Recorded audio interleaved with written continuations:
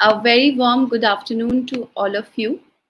On behalf of Net Zero Alliance India and First View Group, I, Sakshi, extend a warm welcome to each and every one of you at the webinar on Green Open Access for Manufacturing Industries and Corporates. It is my pleasure to be here as your host. We would like to extend our gratitude to our esteemed guest speakers and the attendees for their valuable presence in today's webinar. Your active participation has contributed in making this event truly remarkable. In the face of pressing environmental challenges, we all are aware, from climate change to resource depletion, the imperative for corporations to adopt sustainable practices has never been more critical. Our focus today revolves around two pivotal aspects the concept of green open access in manufacturing and the strategies that can lead corporations towards achieving net zero emissions. The Net Zero Leadership Talk series, which is a first of its kind, will redefine the future, inspire sustainability, and create a lasting impact for generations to come. Before we proceed, I would like to make a brief announcement for our attendees here. We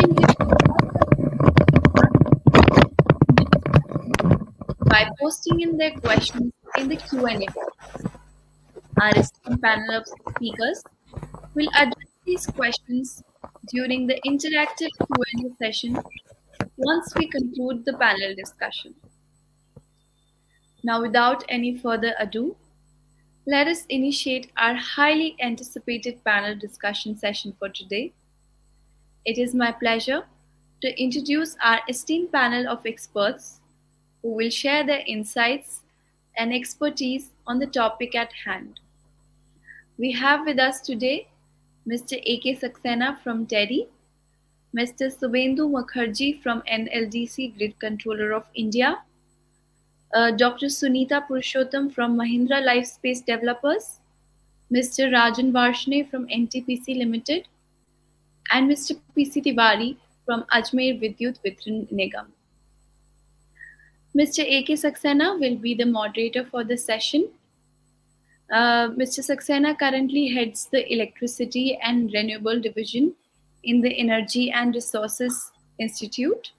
He has over 40 years of experience in the power sector in India.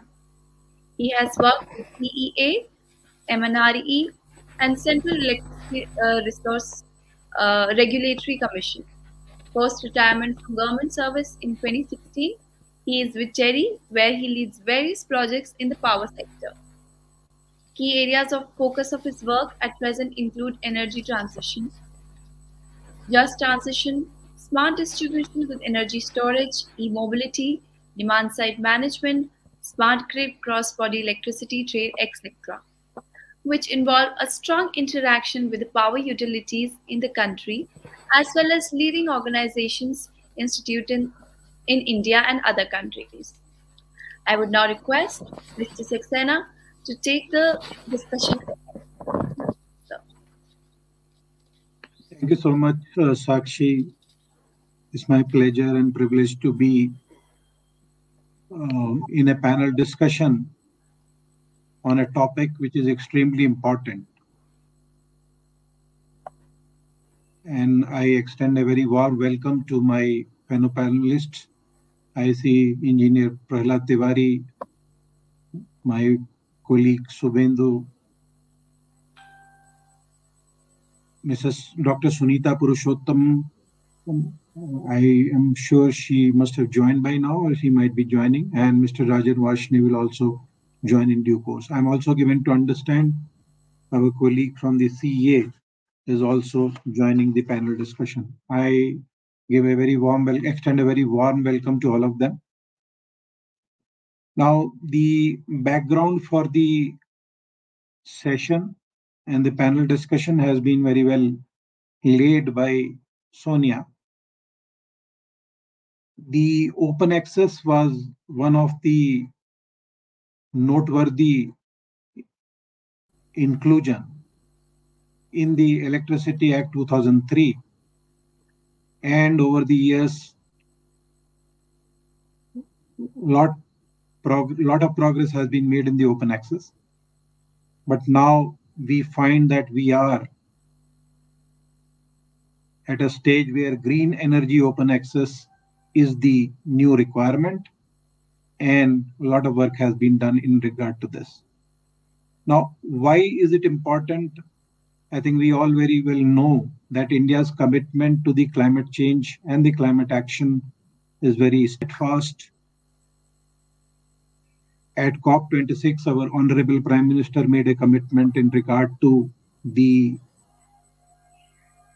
achieving the installed generation capacity of the order of 50% from the non-fossil fuel sources, reduction of emissions intensity of the economy by about 40 to 45% as compared to 2005 levels. And these two targets were the shorter term targets. These were to be achieved by the year 2030.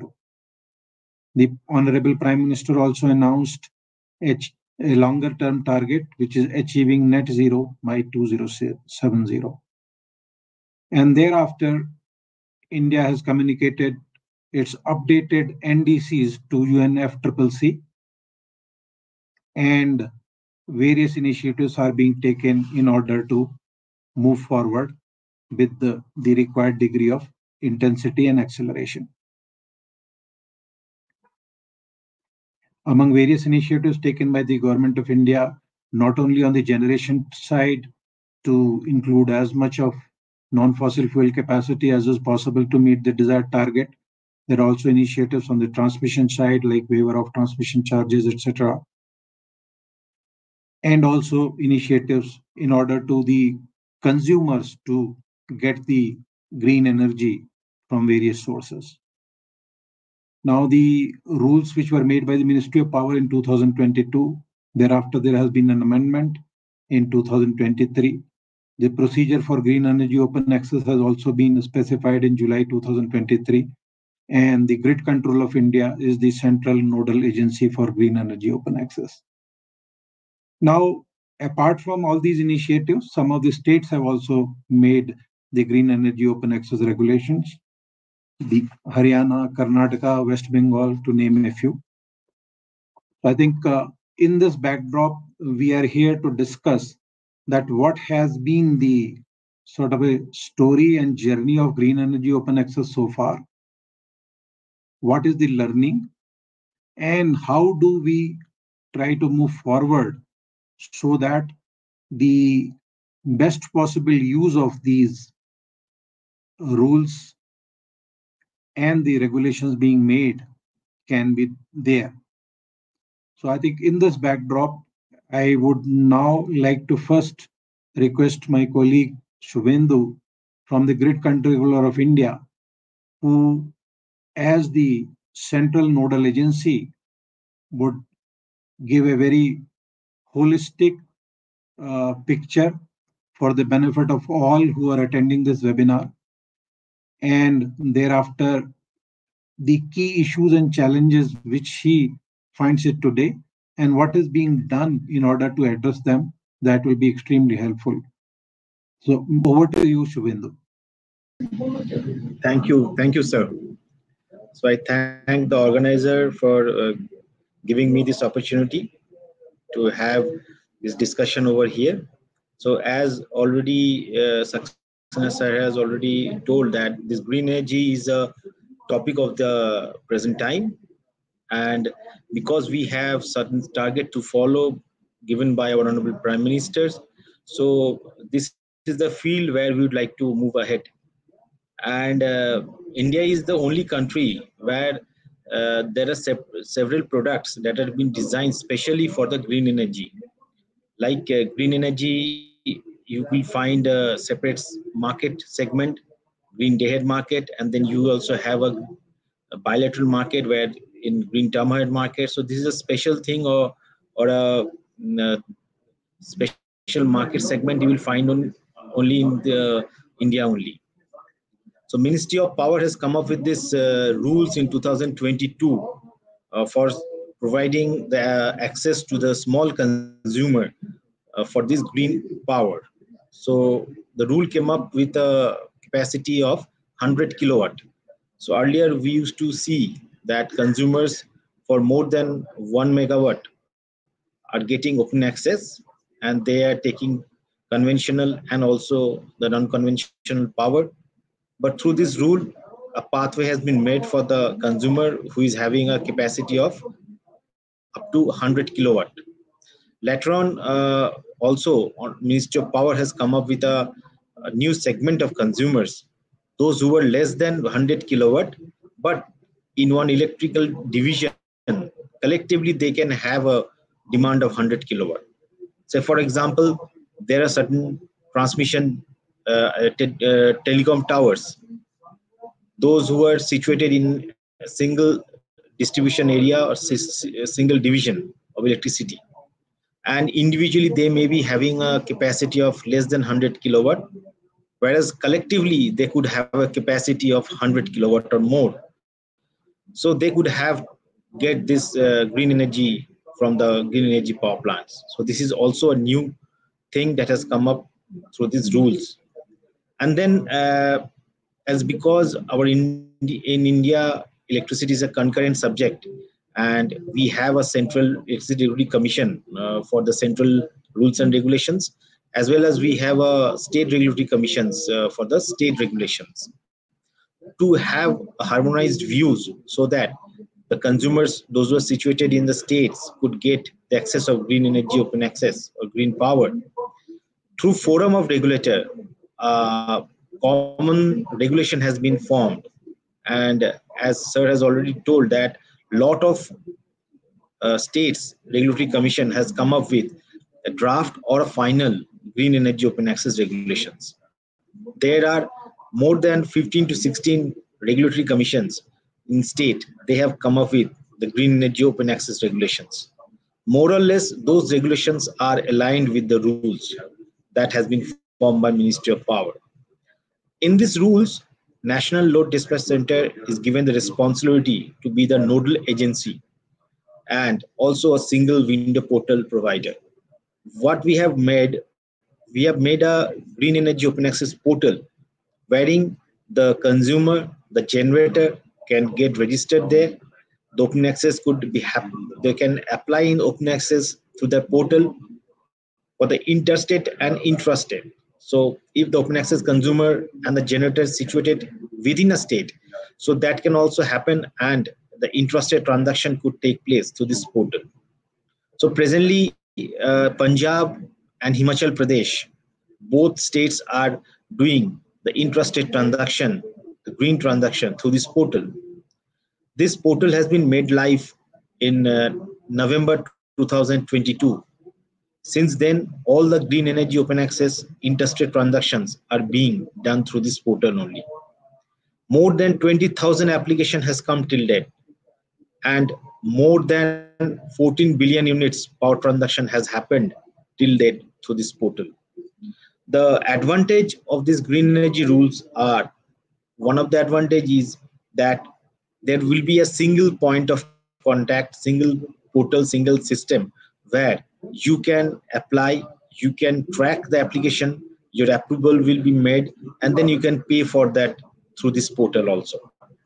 This portal also comes up with the payment gateway providing service provider of uh, big bank banks. So they can you can pay your open access charges to this portal as well as the advantage of these rules are that green power has been given a priority over the conventional power transactions. Now, when we talk about the priority, the priority means that if there is a transmission constraint or in any uh, corridor, green power will be having a priority over that. So, in these rules, the applications are being processed in first come, first serve basis. Also, Honorable CRs has come up with a regulation, general network access, through which the temporary general network access transactions are happening. And in there also the first come first serve rule has been applied since 1st october 2023 now uh, through this uh, implementation of the rule the arbitration has also become uh, very much easier because if any authority deny denies uh, the open access to the consumer so there are a uh, lot of uh, earlier litigations. Now what is happening? That through this rule nobody can deny open access. And nobody can uh, no authority can deny without any reason. So he has to give one reason and there would be a hearing for denial of open access and then the action will be taken. And if there is a denial so in that case what will happen? That uh, there is a appeal can be made and there is a 30 days appeal period given. Now the appropriate commission will be disposing the appeal within three months. So each and every timeline has been given. So timeline is not only given to the nodal agency timeline has also been given to the honorable commissions. Now, for this green energy open access, the interstate transactions, the short-term transactions, the temporary GNA transactions, nodal agencies are the regional load dispatch centers. So we have five regions. So there are five regional load dispatch centers. And if the transaction is taking place within the state, the state load dispatch center is the nodal agency. And for the long term or a GNA transactions, central transmission utility in the interstate and state transmission utility in the intrastate. So these are the nodal agencies. So when an applicant is applying for the green energy open access, maybe for a long term, short term, any period, so this portal will automatically send this application to the nodal agencies that is responsible for providing the approval. Each and application is having timestamp and each and every activity that is being done in this portal is timestamp and the other entity can see the activity being done by the nodal agency. So you can through this uh, process audit trail has been generated and you can track your applications. So that is very much uh, important. Now, the main uh, benefit of this uh, Green Energy Open Access Registry is that this uh, has been helping for the growth in the renewable power. It is also helping for enhancement of the competition because the consumer is having a lot of choice. So where when there is a choice, there is competitions.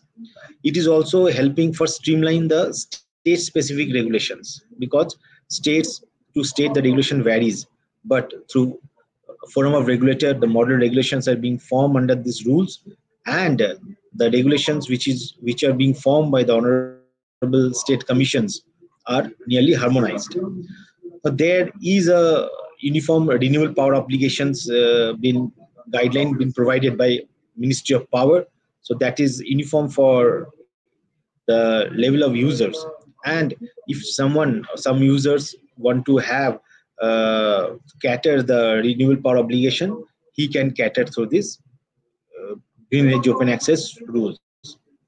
Now, this green energy open access portal is a single window portal. So, when we talk about a single window portal, it means that starting from the registration to the approval, you don't have to take your, uh, you don't have to go to any other portal. You don't have to place your application, physical applications. Everything is online and each and every activities are being tracked each and activities are being um, intimated through emails through sms so there is also a MIS reporting system wherein you can see that how the reports uh, how much transactions are being done and which are the entities those who are doing, the transactions. And there are being a seamless integration uh, with all the entities. Like the state load dispatch centers are having its own application in own software. So those software could be integrated. So these are the uh, main features. And uh, special uh, sldc stus those are being given the dashboard facilities over here. And they can track the application being made to them and uh, there is a open connections through api integrations through these applications have been done. So you can see that this is one-stop solutions. And uh, as per the rules is concerned it is also helping for the entities to cater their renewable power obligations. So um, uh, that's uh, that is the brief i would like to mention. It's over to you sir. Saxena sir thank you so much. Thank you Subhendu. i think uh, thanks a lot for giving a very comprehensive overview of the evolution of green energy open access rules and the regulations which are there. And what all the grid controller of india has done as a central nodal agency for facilitating this. And we are very happy to note the initiatives and the volume which has been there so far also i'm very happy to note that uh, the intrastate green energy open access is also on the move. Two of the states, Punjab and Himachal, you told about. It's a very, very encouraging sign. I think what we need that more and more awareness is created about these rules and the regulations are framed in consonance with the model regulations which are there. And then I think a lot of progress can be there. And India, as an entity, as a country, we can sort of uh, move fast in achieving the ambitious targets we have in this regard. Now, we will come back to you, Subhendu, and other panelists if we have time. But right now, for the time being, I would uh, I find that uh, Dr. Sunita Purushottam has joined, and Dr. Sunita is from the Mahindra Life Spaces, and she brings a she is the head of the sustainability, and she brings a lot of experience in regard to uh, the uh, as a consumer how do they see that what best they can make use of in achieving the net zero targets so i think we know in india apart from the state owned entities a number of corporates have set their net zero targets and i'm very happy to note that many of those corporates have the net zero targets of starting from 2035, 2040, and so on. So I think uh, in this is my view that the corporates will show the way to the country as a whole that how we can accelerate our journey to the achieving net zero targets as a country as a whole. So Dr. Sunita, uh, very warm welcome to you my i would request you to give your impressions about it but i would be very happy if you can touch upon two points one in general how do you see the role of open access in net zero strategies and number two what challenges do you see for a real estate sector as a large consumer and along with those challenges we would be very happy if you spell out the sort of a way forward how best to meet those challenges so that the concerned authorities can take note of it. And as an outcome of this uh, event, I think we have certain actionable points to address the challenges. So over to you, Dr. Sunita. Thank you so much. And uh, thanks uh, uh to the organizers here, uh, the India Net Zero Alliance, and uh, for you know taking up this important topic.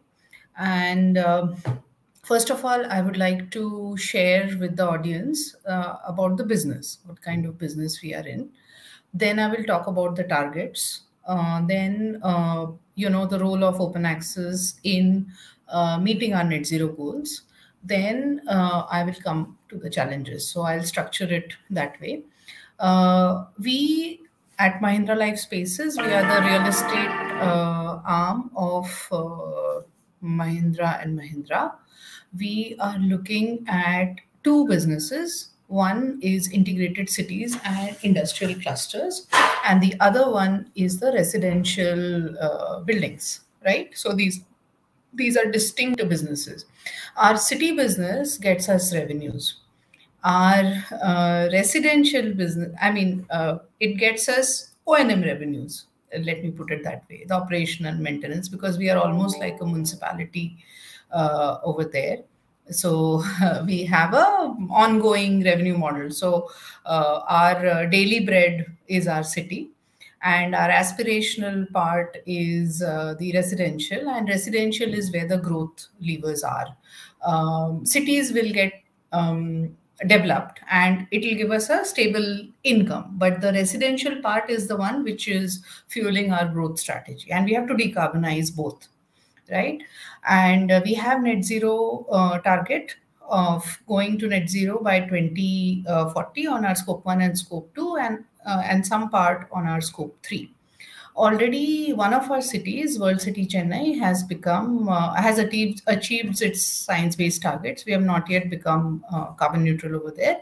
Um, uh, we are looking at various ways of reducing uh, completely decarbonizing instead of doing going for offsets or anything else. Uh, World City Jaipur is a C40 city that is carbon positive development, and there already there is a open access uh, kind of an agreement uh, which helps us maintain this at carbon uh, uh, carbon positivity, right? However, that uh, with increased number of customers and jaipur is uh, 50% developed or 60% developed 40% of development as it happens and new industries uh, uh, come into the city. So these are industrial clusters and integrated cities and so basically we lease out land and the industries come in.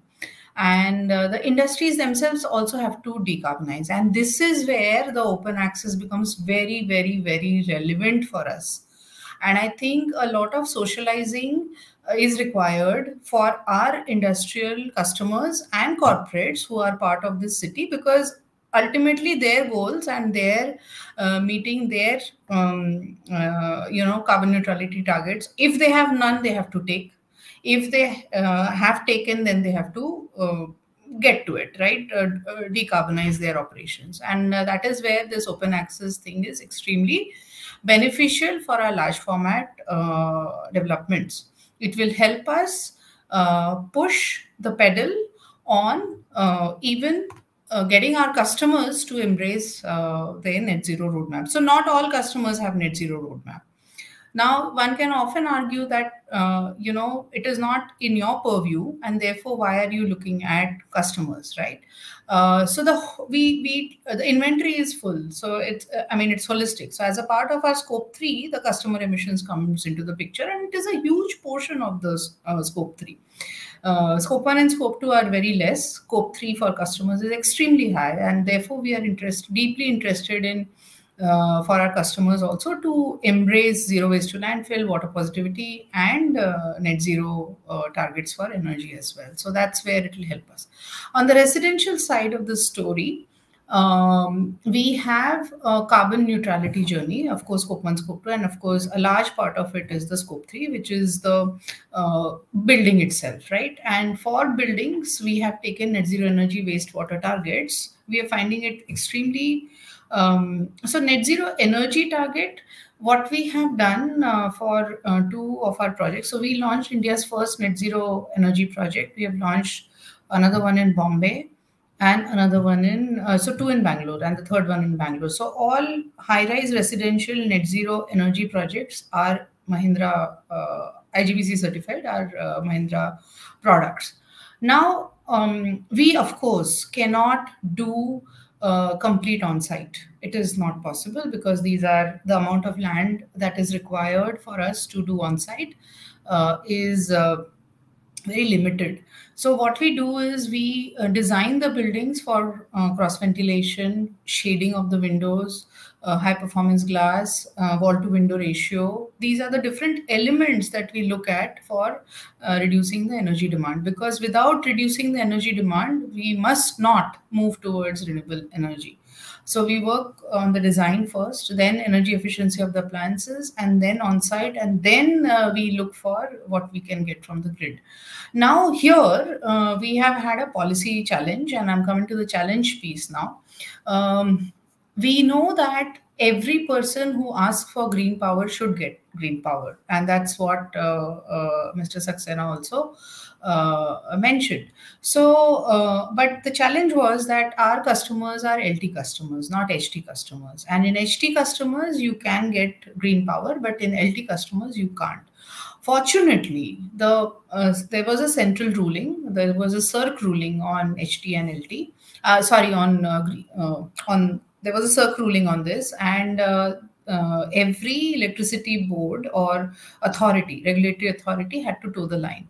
And with a lot of push and policy advocacy, we went to the Karnataka um, KERC and we got that order to be passed uh, the project was launched in April 2022, and I had I was carrying the resignation, my resignation in the in my pocket because I, I had launched it and it's got gone to the customers. And what if uh, the ruling didn't come?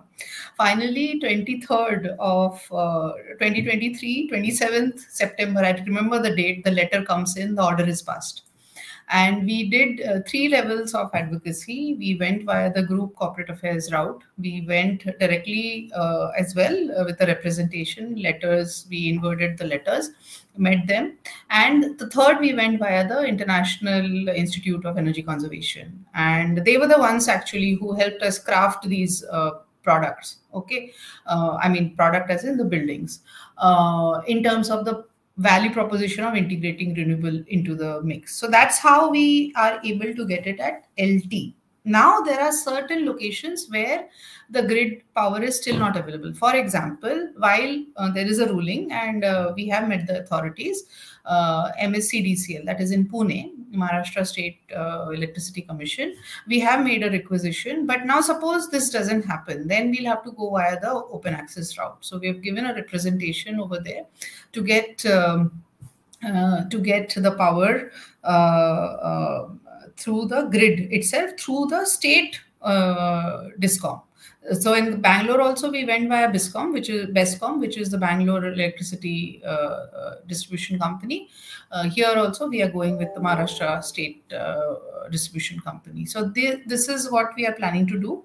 Uh, the challenges for now, suppose if the state authorities don't give us the power at LT, right? It could happen that it is not possible or whatever.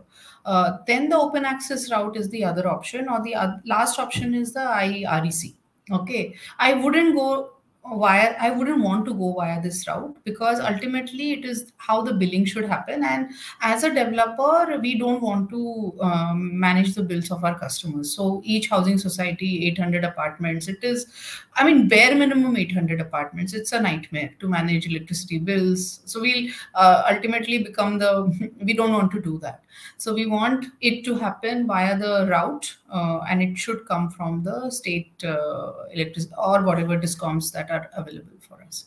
Uh, the other thing that I wanted to touch upon is as a company, we also do we, we do construction, right? So we have our uh, uh, scope one and scope two targets on the construction right?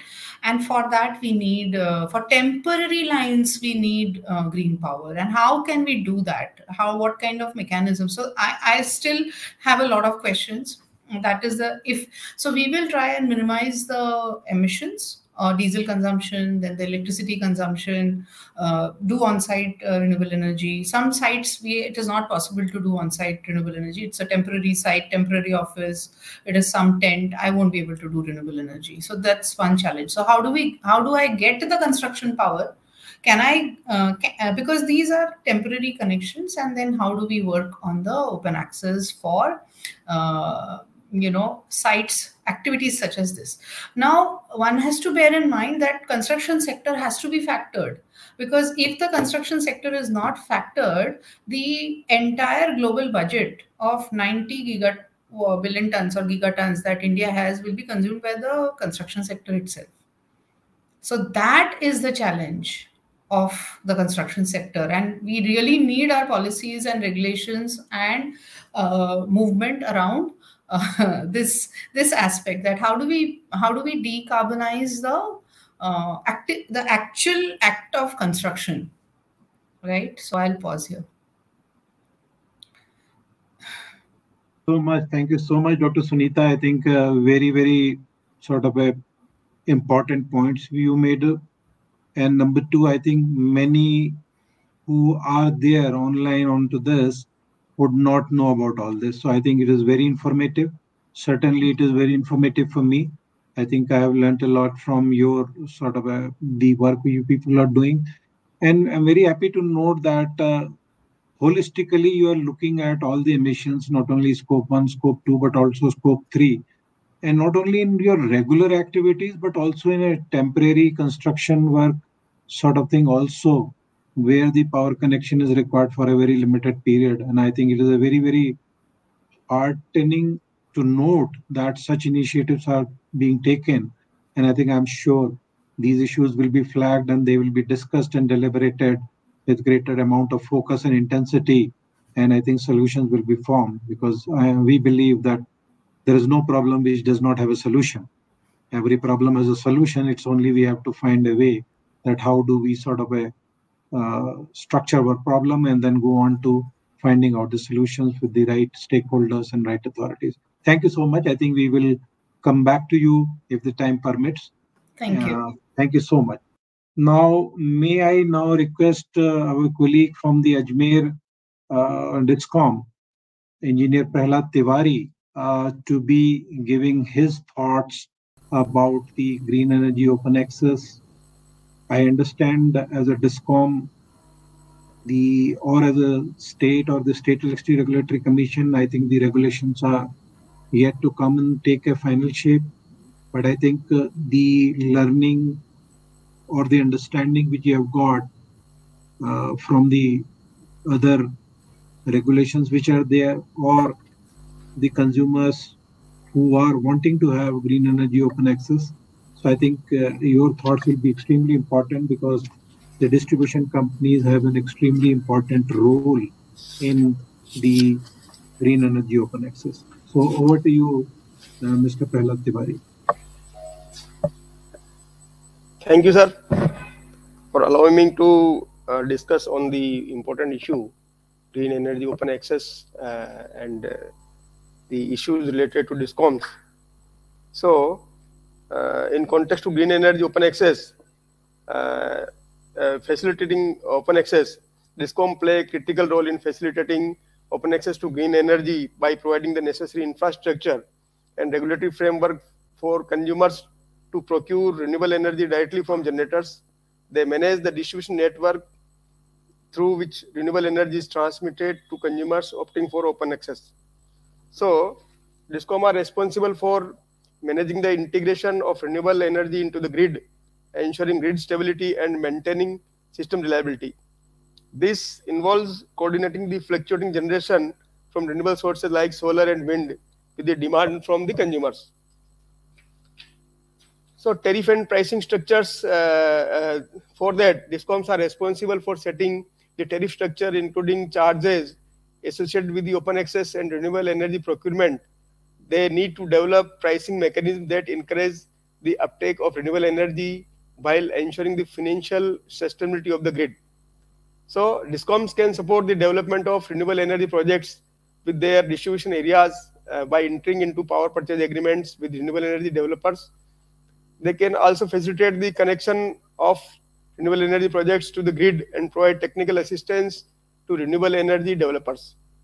DISCOM administered the net metering and feed-in tariff programs which allow consumers to offset their electricity consumption with self-generated renewable energy or sell excess energy back to the grid. So DISCOM need to ensure fair compensation for distributed renewable energy generation while maintaining the grid stability. Then again, DISCOM play a crucial role in educating consumers about the benefits of renewable energy and open access options. They can provide information on available green energy tariffs, net metering policies, and the process for opting for open access, helping consumers make informed decisions.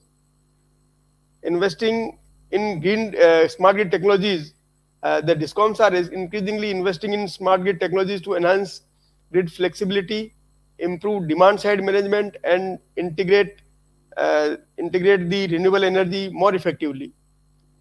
This uh, includes deploying advanced metering infrastructure, grid automation system, and energy storage solution. So right now, Rajasthan discoms are uh, uh, having a tender for AMI uh, SP, that is advanced metering infrastructure, which will add the uh, consumer meters, uh, will replace the all the existing consumer meters be with the smart energy, smart meters having prepaid facility? So then if we talk about the uh, policy advocacy and regulatory compliance, then DISCOM engage in policy advocacy and regulatory compliance activities to ensure that regulatory framework support the integration of renewable energy and open access. They work closely with regulatory authorities to address challenges and streamlines processes related to green energy procurement. Then uh, uh, the overall the evolving role of DISCOM in green energy open access involves trans transitioning from traditional electricity distribution models to more flexible, dynamic, and sustainable approaches that support the integration of renewable energy and meet the evolving needs of consumers and the energy transition towards a low carbon future. So, in uh, to adapt uh, to the changing landscape of green energy open access and meet the growing demand of renewable energy, uh, the, the, there are various ways that uh, implementing the smart grid technologies enhance uh, the capability of DISCOMs to improve grid stability, reliability, and optimize grid energy distribution and integrate renewable energy sources. So this is basically a very big problem that uh, these renewable energy sources, you know, are very, you know, kind of uh, uh, they, they, they, depends on the you know uh, the clouds and etc. So say for, for solar and wind, we see if there is a sun, then there is there is energy generated, or if there is a no wind, no energy generated, no solar, there is cloud, instantly the power generated is off. So the grid stability is a major challenge in this uh, in this area. So DISCOM has to do more about this uh, grid stability. Then the uh, to utilize the advanced uh, this uh, distributed energy resource management system to optimize the operation of distributed energy resources such as rooftop solar panels, energy storage systems, and electric vehicle charging stations. These systems help balance supply and demand in real time and maximize the utilization of renewable energy. So again, the we talk about the uh, energy storage solutions, then to deploy the energy storage systems such as batteries and pump pumped hydro storage to store excess renewable energy and provide grid stability during periods of fluctuating generation. Energy storage solutions enable DISCOMs to mitigate the variability of renewable energy sources and enhance grid resilience. So there are various, you know, charges uh, in, uh, specified in this regulation. If uh, some uh, consumer needs to have the grid energy open access, uh, as the Shubhenduji said told, that a consumer having 100 kilowatt in individually or in totality within a division of the DISCOM can go for open access. Uh, some states have already issued the regulations, uh, but uh, Rajasthan, I think, has to yet to finalize the draft regulations for the green energy open access. And we expect that soon the RERC will release the, the regulations for this green energy open access. So these various charges are as defined in this uh, regulation are the transmission charges related to related to the interstate and intrastate uh, uh, losses in the in the transmission lines. So if uh, if consumer, so this basically this is a kind of fixed charges, but, but it should I think it's if it is it depends on the the the, the distance uh, distance or length of the transmission line being utilized for particular consumer, then uh, the, the it will be very attractive option. Otherwise, all the consumers will get will have the same kind of transmission charge. It is not justified. Then, if we talk about wheeling charges, these are second kind of charges we utilize uh, used in this uh, green energy open access, and this uh, this uh, wheeling wheeling charges. If we talk about basically are the charges the distribution system and associated facilities of transmission licensee or distribution licensee, as the case may be, are used by another person for the conveyance of conveyance of electricity on payment of charges determined under section uh, 62 of the Electricity Act. Then the, the, the standby charges means the charges applicable to green energy op open access consumers against the standby arrangement provided by the distribution licensee. In such case, green energy open access consumer is unable to procure or schedule the power from the generating sources with whom they have the agreement to procure power due to outage of generator or transmission systems and the like. So these are the uh, charges. Then cross subsidy charges are there. Then uh, banking charges are there and other fees and charges such as this uh, state uh, level load dispatch center uh, LD charges we say and fees and schedule charges then deviation settlement uh, charges uh, and uh, as per the relevant regulation of the commission. So different commission will will frame the tariff for the green energy open access and that will decide the, the these charges for particular discom right particular state I say so uh, these are charges are to be uh, defined in the regulations to be notified by the uh, state electricity regulatory commissions some states have already notified, uh, this Shubhenduji, this uh, told, that West Bengal and some Karnataka like that, they have already issued such regulations. And uh, I, I, I expect that Rajasthan and Gujarat will also issue the, the, the regulations shortly. So if we talk about the uh, the net achieving the net zero emissions in the uh, in the manufacturing industry and corporations then basically it uh, to uh, to get the net zero emission it uh, not only this open access will help but it requires also the a comprehensive strategy that involve the various aspects of operations including energy consumption uh, the supply chain management waste management and more so uh, basically in in order to achieve the net zero emissions by, by these industries and various corporations they have to establish clear and ambitious targets for achieving net zero emissions, uh, this which involves the specific timelines and metrics to track the, the progress. Then uh, uh, the, the corporations also have to invest in energy efficient technologies and practices to reduce the energy consumption in operations. This include the upgrading the equipment, optimizing processes, and implementing the smart building systems. Then transition to renewable energy sources such as solar, wind, and hydro power to meet energy needs this can involve the installing on-site renewable energy systems or purchasing the renewable energy from off-site sources through green energy open access, right?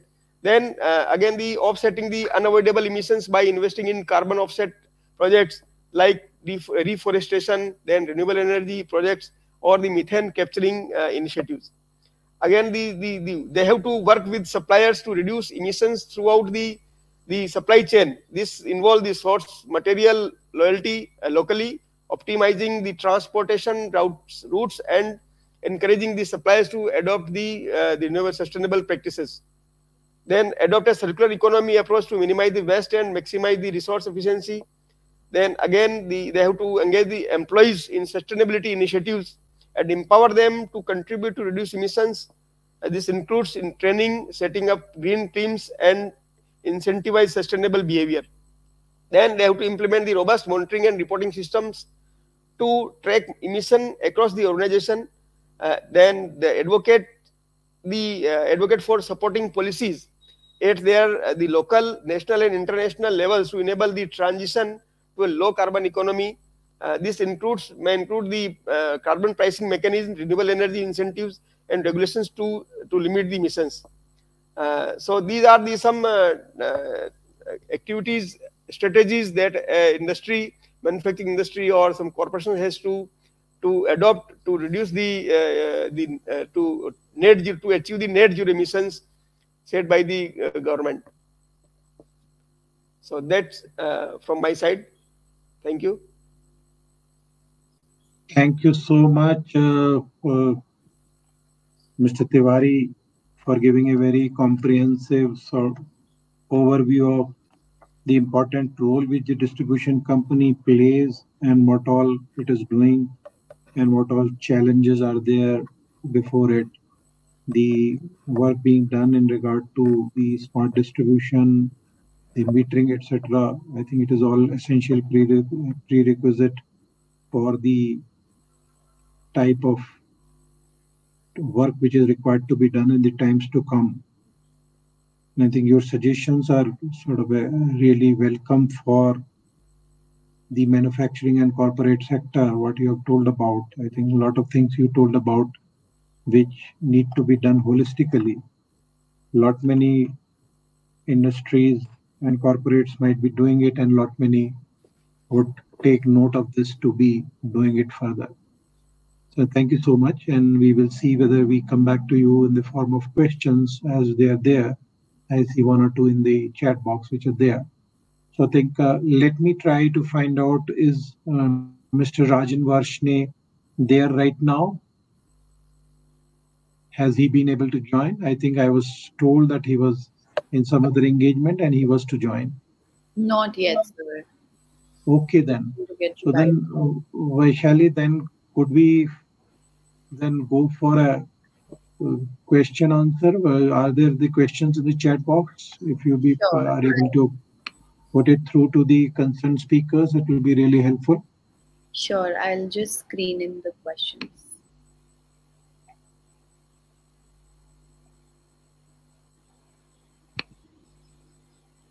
This question is for uh, Mr. Tiwari.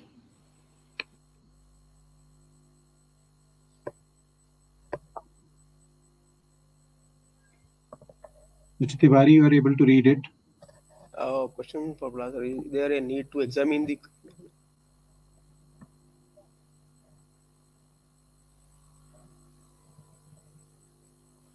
Yes, yes, definitely, definitely. We have to basically whenever uh, the state uh, electricity regulatory commission issues the draft regulations and is it is open for discussion with the different forums. They discuss the the, the, the issues with the different stakeholders, with the state different. Then you have to involve yourself uh, within your state.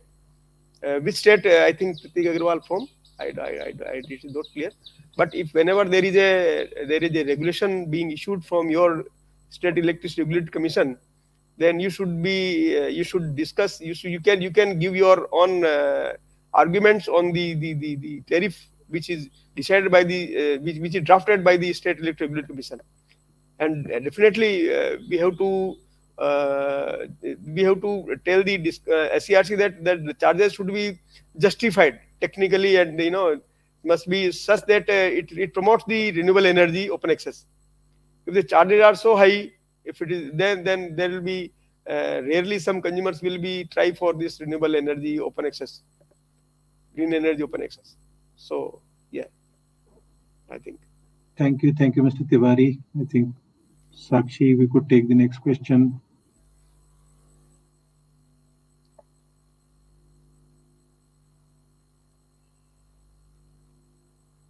To Sunita. Dr. Sunita, there is a question. Yeah, just a minute. Sorry. Can I see the full question? What is your view on this? Also, would you support IREX too? I want to see the full question. It says, would you support IREX to become green power for your clients and Mahindra Group? Okay, so the SBTi I think came in as a shock because I'm part of the technical advisory committee group to the to science-based targets. So we have actually given them a hard time saying that we are questioning it. Okay, so with that you can understand uh, that I definitely am of not of the opinion that we should use offsets offsets is the last part and in fact you shouldn't you shouldn't actually uh, go for offsets in the first place why because uh, uh, otherwise you will never end up uh, decarbonizing so if you give uh, if you want true decarbonizing and decarbonization and as well as reap the benefits of decarbonization from a company's perspective um, we must look at ways of actually working on uh, this approach, which is called as AMG. AMG is nothing but avoid, minimize, and then generate. Uh, it may become difficult uh, to do it for scope three, but that's where hard decisions have to be taken on scope three strategies on the product, on uh, you know, on uh, make say say for example I make soap and uh, I say that uh, you know the product distribution is not part of my strategies. It has to be part of my strategies, uh, and so on and so forth. So you cannot um, delink your decarbonization efforts and take the carbon offset route. SBTi earlier had uh, said that carbon offsets are not allowed. Okay, allowing corporates to use carbon offsets, then it must come with the caveat that you have to do the reductions as per the science-based target, uh, whether it is an uh, absolute or intensity target, you must do those reduction after which you can do offsets. And that's the stand that SBTi should take. So that's my view on this. And uh, supporting IREX uh, for certain portions of decarbonizing, yes, but not without doing AMG. AMG is important, otherwise, it will become OMG. Okay. And once you will start seeing that anything that humans do are potentially damaging in nature, say, for example, even the solar or the wind, they also have their own carbon footprint. So they are also, uh, they have a, uh, you know, uh, their own footprint. It's manufacturing at the end of the day, whether it is a Suzlon or whether it is a Mahindra Susten. Uh, we have a solarized business, Mahindra Susten, Mahindra Solarize, uh, which caters, one caters to open access, the other caters to on-site rooftop solar. It has a carbon footprint, right? And therefore, AMG is the approach to go. And uh, one must use both offsets and IREX with a lot of care. It's a responsible use of these measures. Okay. Otherwise, um, anybody can do anything. So that's my thought on this. Thank you. Thank you so much, Dr. Sunita. Thanks a lot. Uh, so, Sakshi, do we have the next question now?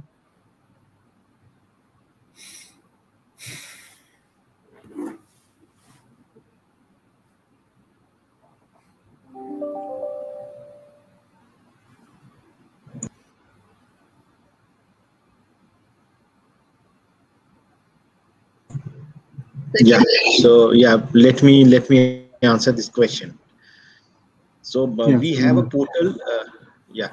So we have a portal uh, greenopenaccess.in so if you could kindly uh, type that uh, link in the google you'll find one portal. So therein you have to first get registered with the portal. Registration is free of cost there you have to put just basic data like your user id your password you would like to, make, then your uh, mobile number, email IDs, the address, etc. And after that, you put as a consumer, you put your data over there, like uh, what is your demand, where you are situated, what is your discom, what is your state, SLDCs, like those one. Those are simple things, and uh, major things you will get a pop-up over there.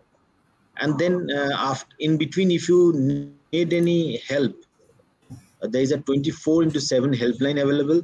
There is a 24 into 7 uh, uh, you, customer support we have. There is a mail.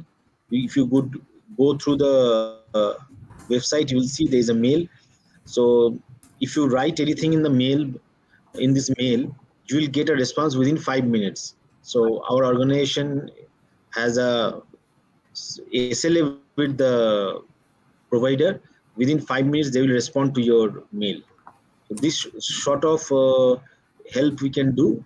And uh, obviously we are there at NLDC and also in RLDC so any anything you require from our side we'll certainly do that.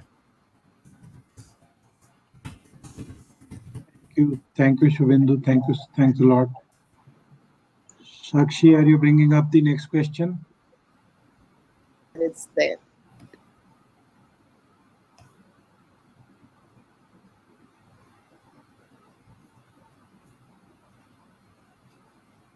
I can take that, uh, Sakshi. Yeah, please, please. Yeah. So discoms have to give green electricity, and that's what the central uh, that's what CERC says. Okay, but provided they have the wherewithal to uh, have sufficient uh, generation happening. So the CERC regulation says that if a consumer asks for green power, they should be able to get it. Okay, from the regular discoms. So already uh, private discoms such as Adani and Tata are offering it. Bescom is now offering it at our inst insistence. They are offering it. So um, that ability of discoms to account for a portion of their green electricity as well as increased demand for uh, green electricity by end consumers will actually see many discoms giving green electricity in their program it will come in the bills they offer that in uh, abroad also and here also it has become something a trend it can become a trend Thank you. Thank you so much. Next question, please, Sakshi.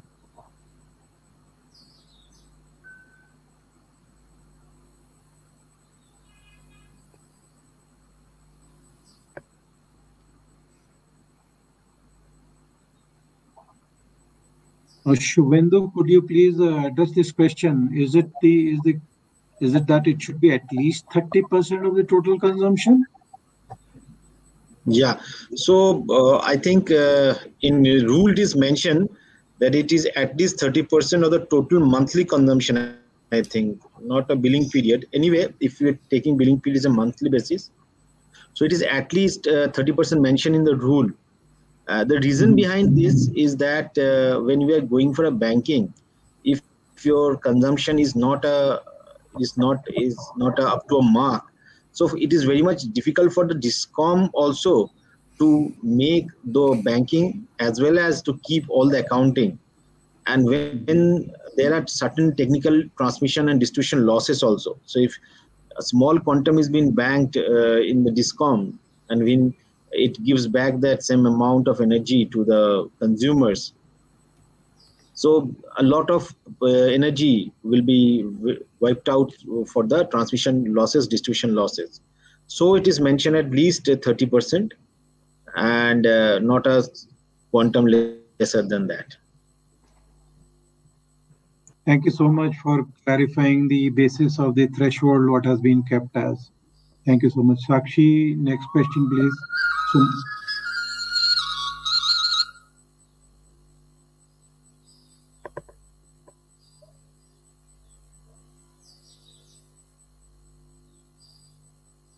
Uh, would uh, Mr. Tiwari, would you like to answer or to Vendu, would you like to answer for about our small industrial companies?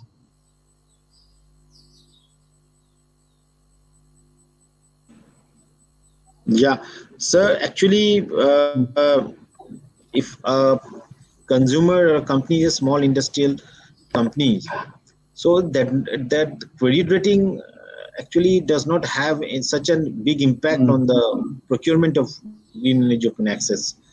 Because green energy open access if you're procuring uh, from the renewable energy power plants so you have a letter of credits or a payment security mechanism back to back with that so maybe a bank guarantee maybe a letter of credit is there in the power purchase agreement through that uh, you can purchase power uh, from the renewable plant it is irrelevant that how much credit rating or low credit rating you are having.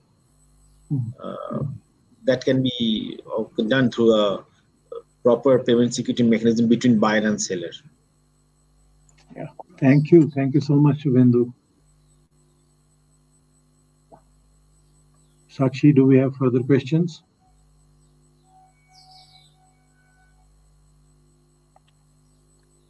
Is some question to Shivendu. I cannot read it well.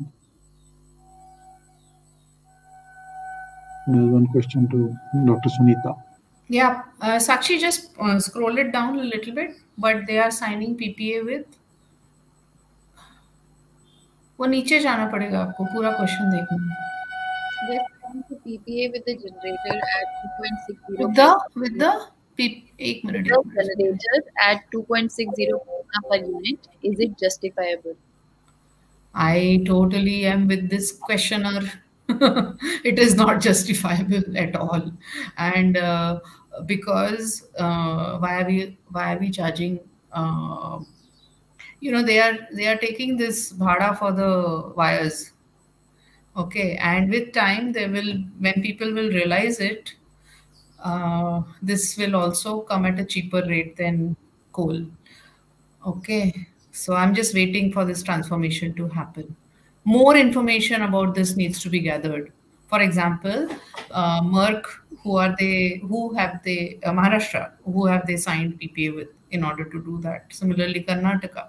What are these PPA costs? Okay, the uh, the uh, the per kilowatt or the charges and so on. What is the charges structure and what are you basing the 66 paisa? We can ask uh, through a RTI. I think we should it's not justifiable but we, we should also hear their side of the story why they are charging more with time would this come down further and so on yeah so it's a great question this one is a great question thank you thank you dr sunita i think next question please sakshi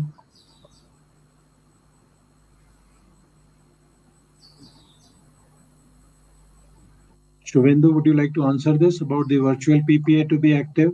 Is the possibility? Yeah. Yes. So uh, presently, uh, virtual PPA means what? Virtual PPA means the renewable power will be selling its uh, energy in the market and the green certificate uh, uh, the consumer will uh, utilize that green certificate presently we are not using this model that if a consumer is having a PPA with a generating station, the generating station will sell its entire energy in the market and the consumer will take only the uh, your renewable credit from that plant. But yes, discussions are being going on and near future it we will be getting actually a virtual PPA works in such an environment where we are in an energy surplus.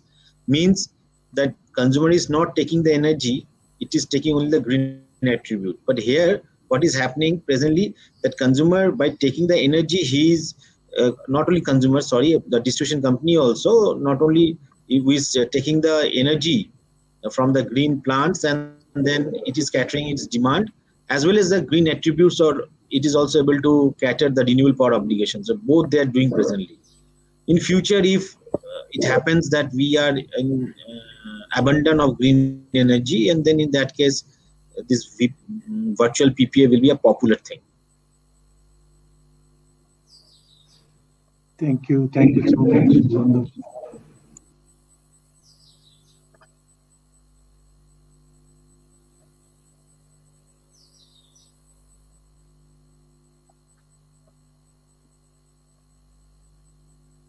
I think how do how to decide on quantum of banked energy.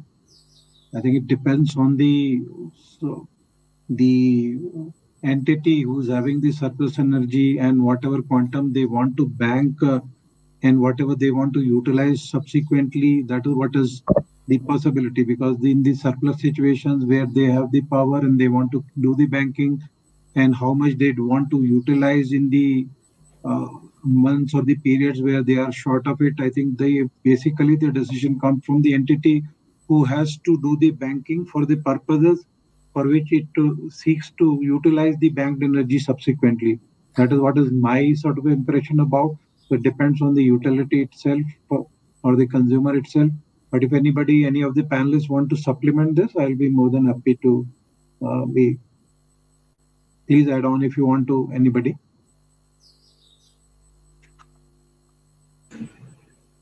Uh, yes, sir. Uh, absolutely, whatever you have told is correct. So it's depending upon the requirement only. That's correct. there's a there's a follow-up question from Shubhendu on the banked energy. I think I think it was there on the screen some time ago. Sakshi, if you could uh, display that question, and maybe Shubhendu can answer that as well. Perfect methodology. Banking charges. Yeah. So uh, the banking charges uh, is the charge which is being taken by a distribution company for the storage of that, storing that uh, renewable energy. Say, for example, in the solar hour, uh, if uh, you are banking the power into the DISCOM, when the power purchase cost in the market is lower, so it is less than three rupees in the day-ahead market, and you'd like to get this power from the distribution company in the evening hours. So what will happen that in the solar hour when the market price is low, you are storing the energy in the discom and then you are taking out that power from the discom and then you are utilizing in the evening. So evening the power price is very much high. So it is touching rupees 10 per unit also in the day market. So in that case, what will happen? Your banking charge will increase because no discom will take power at 3 rupees and then he will sell at 10 rupees. I'm sorry, uh, buy at uh, when they were getting uh, power at when the, there is a low cost in the market and when the, the cost in the market is higher, he will procure from the market and then costlier power he will give. So there is a difference between the time of uh, your uh, taking and when he's time of backing the power. So that is one of the cost. So if you make an arrangement in such a way that in uh, solar hour, solar hour I will provide the power and then I will take in the solar hour only. In that case, you will see the banking charges are minimum. But if you want would like to have an agreement with Discom that I will give you in solar hour and take back in the non-solar hour, but you'll see the banking charges are much more higher. So that depends uh, mm, when you'd like to take the power in the time of day. Yeah. Next question, please. Um, what explains the really low uptake of long-term open access compared to short-term, medium-term? Consumer often blame the lack of predictability of charges, retrospective actions, VRC, and delay in getting NOCs are prime challenges. Yeah, I, I admit, sir, because in short term, if you compare, uh, the process is a bit streamlined in the interstate and intrastate also. But when it comes to long term, you have to take, if you are going for an interstate between two states, you have to take a no objection certificate from the SLDCs or STUs, and that uh, also is getting delayed. Uh, so uh, down the line, if this green energy open access portal gets popularity and then we are trying to onboard the STUs also. So we are, we are discussing with the STUs also so that they can onboard in this portal and then through this portal if the NOCs are being given for the consumers, those who are taking, wishing, those who are willing to take for long term. So in that case, I think the delay will get reduced. So that will be there. Thank you. Thank you, Shubhendu. Thanks a lot. Sakshi, next question, please, if any. I think, uh, sir, these are all the questions that we have for today. Does anybody want to give any opening remarks? Sorry, closing remarks. No, I think, yeah, thank you so much. Uh, I think it's extremely useful session without any doubt. The green energy open access is relatively new. What all has happened was very well outlined by Shubhendu, but uh, and um, Engineer Tiwari and Sunita ji in regard to the corporates, what they are doing about. But extremely important questions came from the audience, the attendees. I think uh, the type of questions, the depth of questions showed very clearly that they are really sort of a thickly into the green energy open access and their questions are so important that they will certainly uh, they are keen to know about how best to sort of uh, make the best use of green open access what can be done on the part of the discoms or what can be done on the part in regard to the charges etc so that these open access becomes more and more sort of a uh, conducive for various uh, end users. So I think I am extremely happy to see this and uh, the purpose with which this uh, event was organized by the forum for creating awareness and appreciation and a better understanding on the part of all concerned who are attending this, I think is really the objective has been fulfilled to a very large extent. And I think uh, as Shubhendu also mentioned and Engineer Tiwari also mentioned that more and more awareness needs to be created and more such sort of a uh, events need to be organized so that the the concerns which are there are very well flagged and i think uh, the uh, way forward can be uh, developed keeping all that in view I think I'm extremely happy and thankful. And there's a lot of learning for me, particularly in regard to what is happening really in the field. And uh, I think a lot of the attendees would have learned a lot. So, in closing, I would like to thank all the panelists, uh, the uh, Shubhendu Mukherjee, Engineer Tiwari, Dr. Sunita, and Sakshi uh, as our host for the event. I think thank you so much. And it has been a pleasure and it has been a good learning. And I think we look forward to taking this learning forward and doing better in the times to come. Thank you so much. Thank you, sir. Thank, Thank you, you, so much, everyone. Uh, big thanks to our esteemed speakers for this wonderful session. Many thanks to our audience. With this, we have come to the end of our virtual event. Many thanks to our moderator, Mr. Saxena, for superbly managing the session. Your expertise and guidance has greatly enhanced the quality of the discussion. Our gratitude to all the speakers for taking out time from their busy schedules for this key initiative. Uh, as we conclude this event, we assure you that we will be back soon with more exciting sessions. Thank you so much, everyone. Thank, Thank you. you. Thank, Thank you. you so much. Bye-bye. Bye.